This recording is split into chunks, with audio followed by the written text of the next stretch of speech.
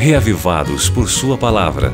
O comentário que oferece a você uma síntese do capítulo de leitura da Bíblia para este dia.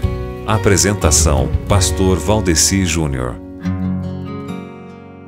É, meu amigo ouvinte, estamos aqui mais uma vez para meditarmos num capítulo da Bíblia. É um prazer muito grande estar aqui com você para nós nos lembrarmos que estamos estudando a história de Davi, um homem de sucesso. E hoje eu quero começar a falar sobre isso, é, sobre dicas de como sermos bem-sucedidos na vida e sobre a questão de vencer na vida.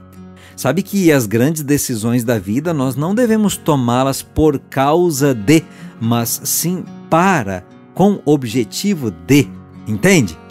Por exemplo, sobre uma profissão. Se o camarada pensa assim: ah, eu vou trabalhar em postos de gasolina porque meu pai tem postos de gasolina e então, apesar de que eu não gosto disso aqui, é isso que tá fácil para mim, então é isso que eu vou aprender. Provavelmente esse camarada nunca será um profissional de sucesso por excelência. É muito diferente de alguém que tomasse a seguinte posição: bem, eu não sei fazer outra coisa na vida. Cresci no posto de gasolina.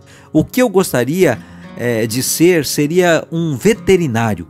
Eu vou montar um projeto de vida e uma troca de benefício com a profissão de trabalhar em posto de gasolina. Vou servir a essa profissão e zelar por ela com carinho, porque ela vai servir-me para que eu consiga transformar-me num veterinário. Percebe a diferença?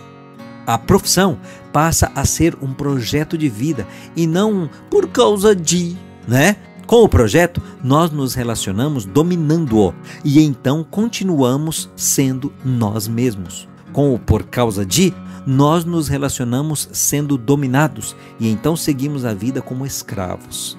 Leia 1 Samuel 21 e siga a vida como Davi. Você ouviu Reavivados por Sua Palavra com o pastor Valdeci Júnior.